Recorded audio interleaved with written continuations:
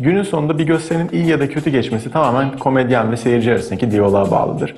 Bu diyalog da nasıl oluşturulur? Sahne üzerinden oluşturulur. Burada tabii sahnenin de etkisi çok fazla. Çünkü şunu e, dikkate ka- alması gerekiyor komedyenin.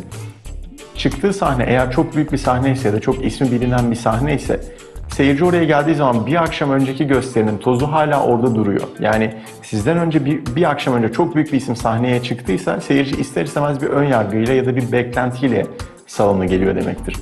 Sizin de bunu birinci dakikadan kırmanız gerekiyor. Çünkü o beklenti duvarını aşamadığınız zaman hiçbir şekilde güldürme imkanınız olmuyor. Bunun dışında ters gidebilecek olan şeyler var ve bu ters gidebilecek olan şeyler çoğu zaman ters gider zaten. Bunlardan bir tanesi mikrofon çalışmayabilir. Hemen adapte olman gerekiyor sesini yükselterek. Ya da seyirci arasında sonuçta open mic'tan bahsediyoruz. 10 tane komedyen var. Seyirci bazen 10 komedyenin 10'unu birden izlemeye gelmeyebiliyor. İçlerinden bir tanesi tanıdığı oluyor. Geri kalan 9 komedyeni izlemek istemeyebiliyor. Ve bu noktada arkadaşıyla konuşabiliyor, telefonuyla oynayabiliyor, genel hatlarıyla komedyene karşı ilgisiz olabiliyor. Bu tarz seyirciye karşı da yapılabilecek iki tane çözüm var. Ya yine görmezden gelmek ya da kazanmaya çalışmak. Kazanmaya çalışmak tabii ki uzun vadede amatör komedyenin yapması gereken bir şey.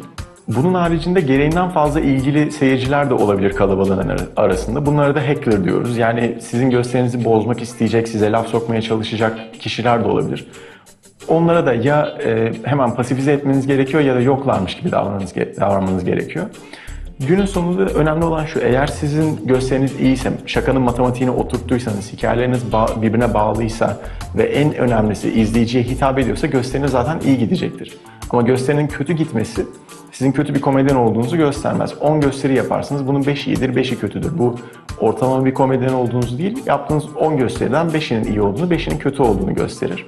Yine de işinizi kolaylaştıracak bazı şeyler olabilir. Bunlardan en önemlisi hitap meselesi. İzleyiciye direkt olarak arkadaşıymış, sanki e, sahnede iki kişi oymuş da izleyen kişi sizmişsiniz gibi hitap etmek çok faydalı bir davranıştır.